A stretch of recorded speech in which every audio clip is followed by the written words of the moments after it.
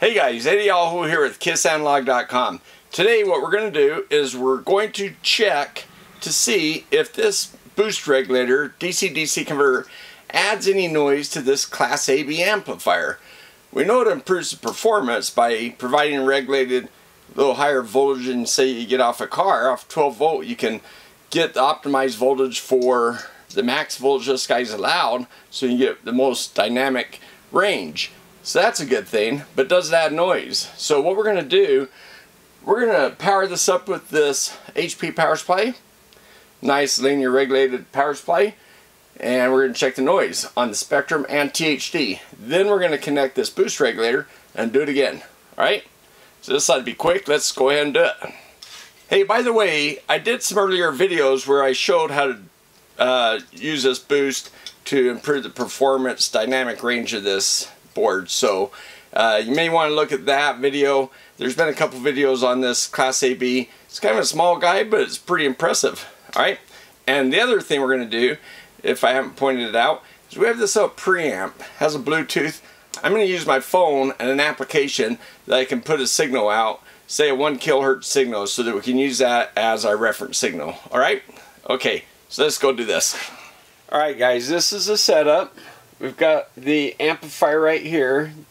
This is the TDA 7377 Pro, the DROK.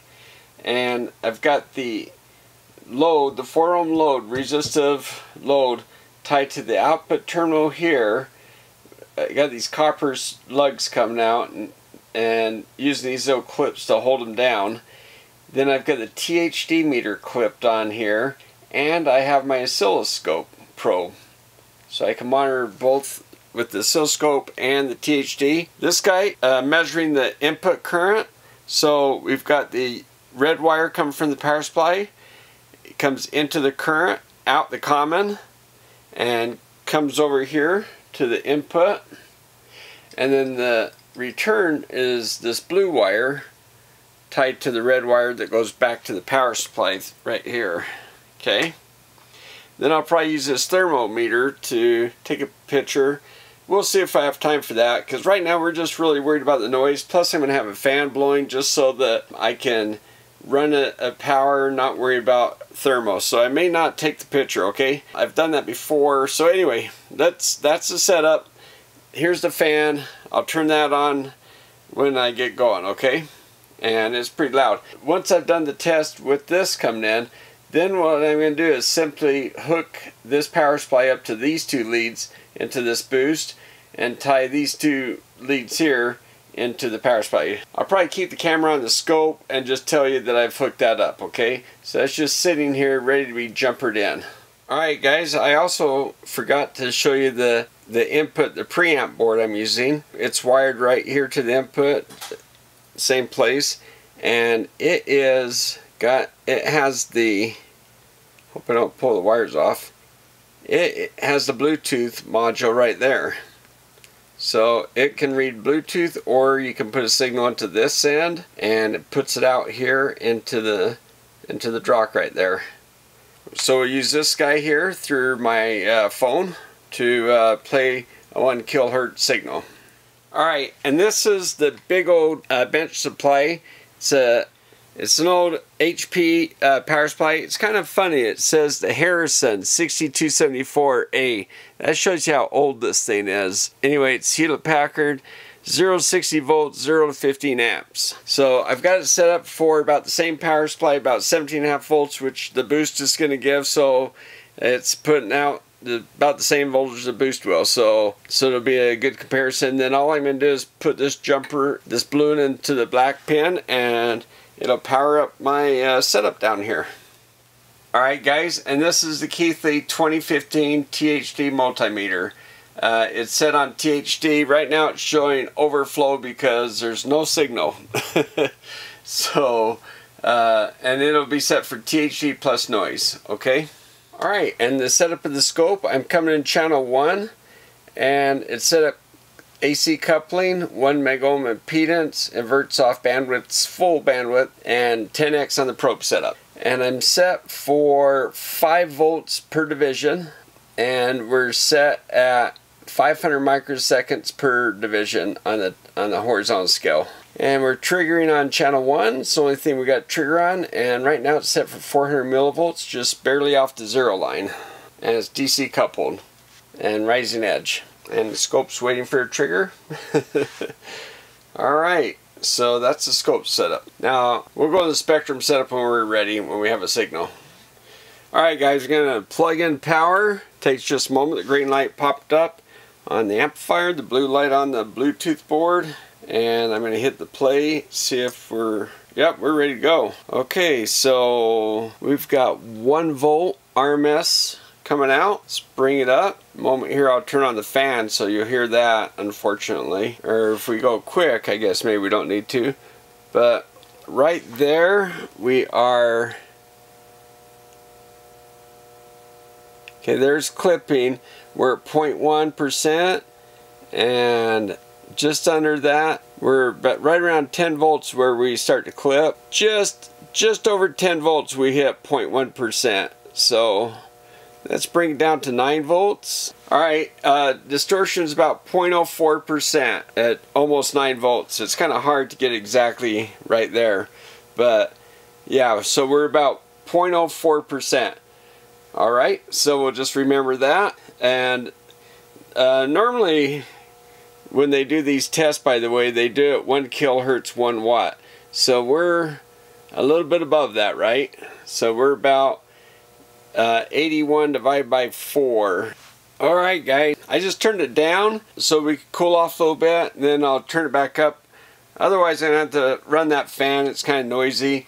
But that was uh, 17.45 volts in, about 1.8 amps in, and we had about 9 volts out, and that's in the 4 ohms. Alright, so let's see. Let me, let's bring that back up uh, again real quick. Take a look at it, just confirm the measurements. Yeah, that's right at, it's 8.96 it's real close to 9 volts, but so that's about 20 watts out, 31 watts in. It's about 64% efficiency. And we're about 0.04, 0.05% distortion. Alright, turn the signal down while I adjust this. I hit this and then hit spectrum. And you can do this, by the way, with your FFT. I'm just doing the spectrum because it's quicker. Uh, I can do some videos showing how to do the FFT as well because everybody has FFT and that way you can follow it but just trying to keep this video short enough okay I'm going to start at 1 hertz and go to 500k hertz that's where it's set up 250k is right here in the middle and it's about 50k per division with 500k here and uh, 1 hertz down here at the start here's the, the idea is I'm going to bring up the distortion. 1 kilohertz is going to be this 50k, so 1 kilohertz is going to be way over here. We're just going to see if we see any noise, and then we're going to compare that with the switching power supply. Okay, here we go, bringing up the volume. Okay, there we go. See, you can see 1K, the energy out here. And there's some spikes right around in here. So that is about 350 kilohertz, I think. And there's 30 dB right there, minus 30, so they're just under minus 30. And other than that, it kind of slopes down here, down about 50k, and then it's about flat except for there. So that's pretty clean. Not sure what this is coming from. Okay, I'm going to bring the volume back down again. So now you see it go flat. So that those spikes were coming from our system because they're gone with the signal. The amplified signal dropped. So let's go back to frequency and span. Go start. Let's change the stop to 20 kilohertz.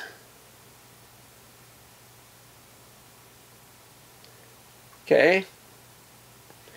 Now we're back there. Now 10 kilohertz is in the middle and 20k here. Okay, here we go. Okay, brought it back up. There's the 1 kilohertz.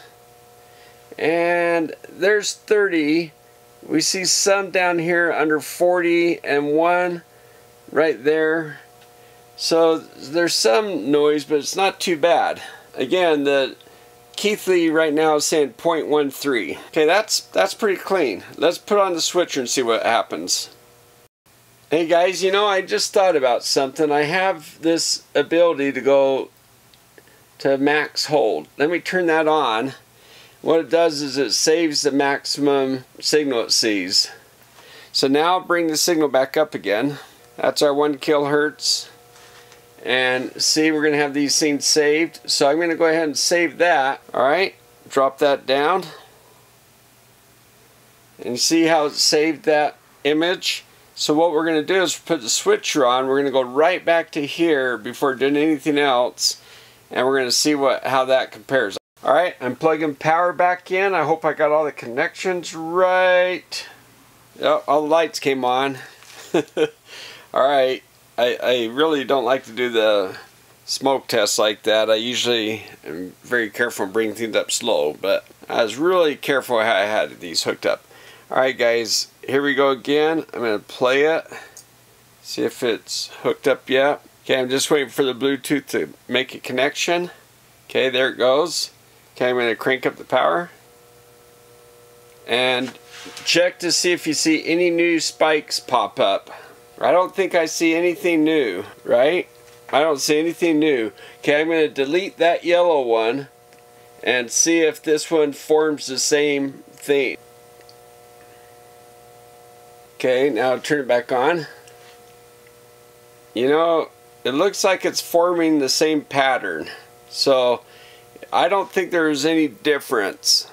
I don't think this switcher's added any noise to the audio spectrum. Now this is down 20 kilohertz and that switcher is switching a high frequency.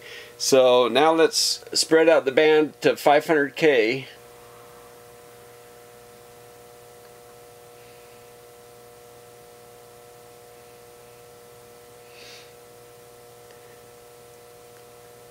Okay, start 1 hertz just to make sure.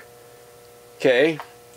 Wow, that to me looks the same as well. We have these two things out here and it slopes off and you know I don't see any difference with this switcher in there. Heat sink's getting pretty warm right now, pretty hot. Let's go back to the signal and we're at 9 volts RMS just like we were before with the others one. And I didn't change anything. I, am using the same source input and the only thing that changed was the uh, voltage. So actually the distortion, when I look at the THD meter, I see 0.5 right now. It was 0.14. So, you know, I am seeing more distortion even though now it could be because I've got I've left this guy on it's getting pretty hot so I wonder if that's here, let me here, let me cool that off and come back. Okay, guys, I went back. I got the fan on, and it's oh, still really hot. And I was just kind of wondering what happened with the THD, and because uh, the Spectrum looked different too when I went back to Spectrum. Here, let me show you. See that? That's 16 kilohertz. At the higher frequency, the THD goes up. I have seen that before, so I, I accidentally hit my uh, generator on my phone and switched the frequency. So when I go back to 1K, the THD drops down to 0.14, the same as it was with the other power supply, without the switcher. So I don't see anything uh, new with the switcher.